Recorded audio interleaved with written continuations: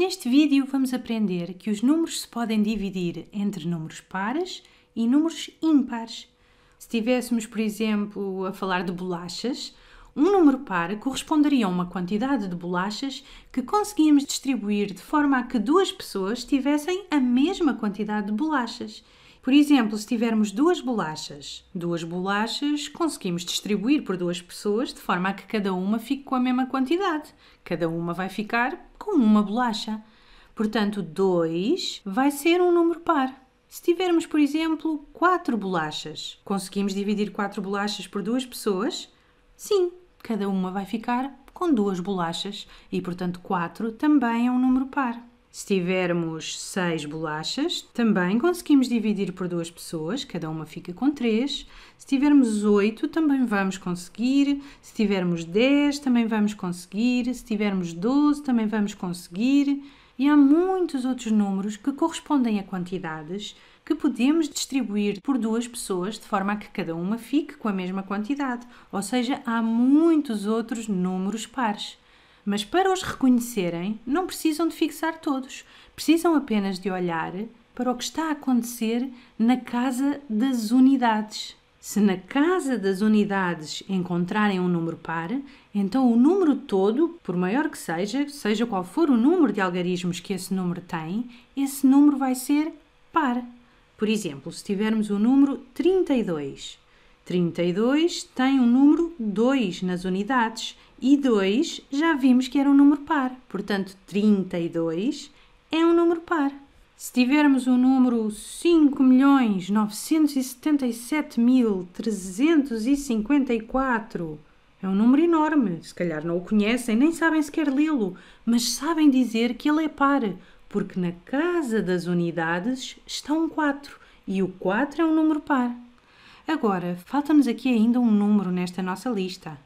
Reparem que temos aqui 2, 4, 6, 8 e depois nas unidades aqui temos um zero. O zero, vamos acrescentá-lo aqui na nossa lista, também é um número par. Reparem que se não tiverem nenhuma bolacha e forem distribuir por dois meninos, cada um fica com zero bolachas. Portanto, não receberam bolachas, mas cada um recebeu a mesma quantidade. Zero bolachas. E também os números terminados em zero, os números que tenham um zero na casa das unidades, vão ser números pares. Por exemplo, se tivermos o 150, na casa das unidades temos um zero e por isso 150 é também um número par. E agora, o que serão os números ímpares? Bem, a maneira mais simples de pensar neles é que os números ímpares são os números que não são pares. Este in faz com que a gente queira dizer o contrário. Ímpares são números que não são pares. Vamos escrever aqui: não, não são pares. Os ímpares são os números que não são pares.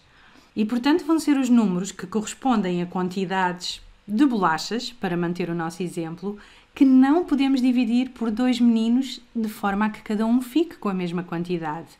Por exemplo, se tivermos uma bolacha, não conseguimos dar a mesma quantidade de bolachas aos dois meninos. A mesma coisa se tivermos três bolachas, ou cinco bolachas, ou sete, ou nove. Nenhum destes números corresponde a quantidades que vamos conseguir dividir de forma a que os dois meninos recebam a mesma quantidade de bolachas. E estes números, os números ímpares, também continuam por aí fora. E tal como acontecia aqui com os números pares, também nos vai bastar olhar para a casa das unidades para distinguir imediatamente se um número é ou não ímpar. Por exemplo, se tivermos o número 59, este número na casa das unidades tem um 9 e 9 é um número ímpar, portanto, 59 é um número ímpar. Se tivermos o número 141, mais uma vez, olhando para a casa das unidades, encontramos aqui 1 e 1 é um número ímpar, logo 141 é também um número ímpar. Assim, sabemos que se tivéssemos 141 bolachas para distribuir por dois meninos, não íamos conseguir distribuir de forma a que cada um tivesse a mesma quantidade.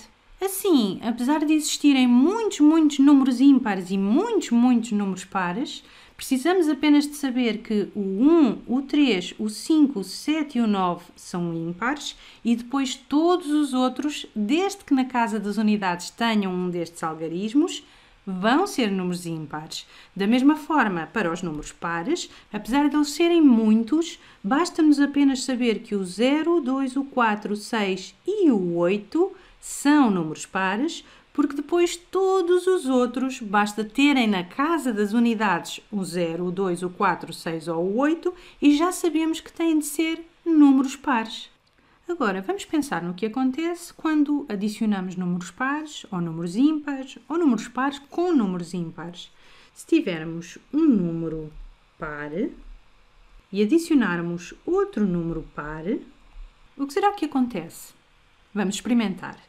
Se tivermos, por exemplo, 2 mais 6, dois números pares, 2 mais 6 são 8. Temos aqui outro número par. E se pegarmos, por exemplo, no 14 e adicionarmos 4? 14 mais 4 são 18. Temos um 8 na casa das unidades e, portanto, este também é um número par.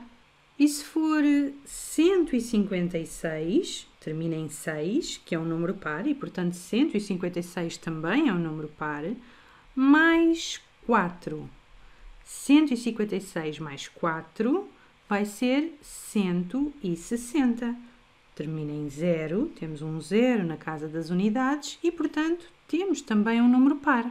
Assim, parece que, pelo menos nestes três exemplos que aqui temos, quando pegamos num número par e lhe adicionamos outro, vamos obter um número par e encorajo-os a experimentarem com outros números pares e vão ver que isto continua a acontecer. E até faz sentido, porque reparem, se tivermos uma quantidade de bolachas que conseguimos dividir de forma igual por dois meninos e juntarmos mais umas bolachas que também conseguimos dividir de forma igual por dois meninos, parece fazer sentido que as duas quantidades de bolachas juntas continuem a ser possíveis de dividir de forma igual pelos dois meninos.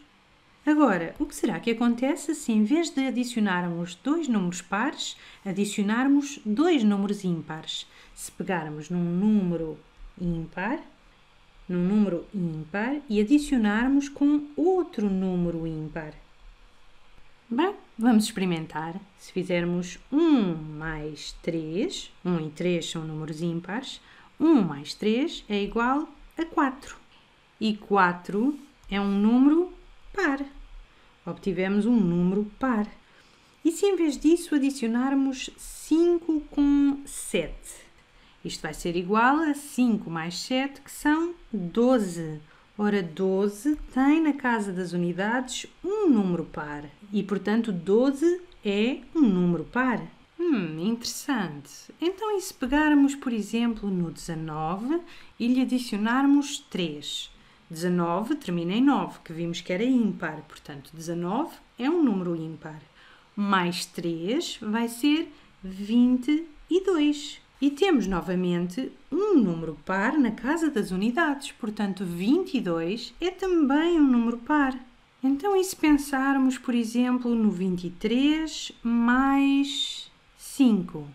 Ora, isto vai ser 23 mais 5 são 28.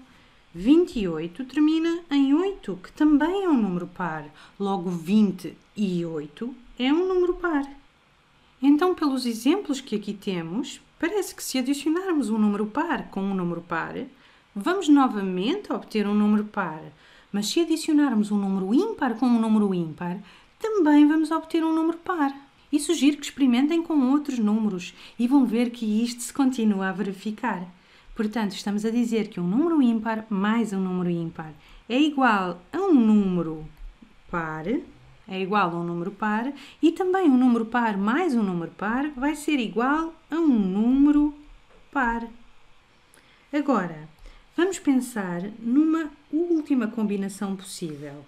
O que será que acontece se pegarmos num número par, num número par, e lhe adicionarmos um número ímpar? O que será que acontece se lhe adicionarmos um número ímpar? Então, vamos mais uma vez pensar em exemplos. Se tivermos 2 e lhe adicionarmos 1, um, um número par, mais um número ímpar, isto vai ser igual a 3.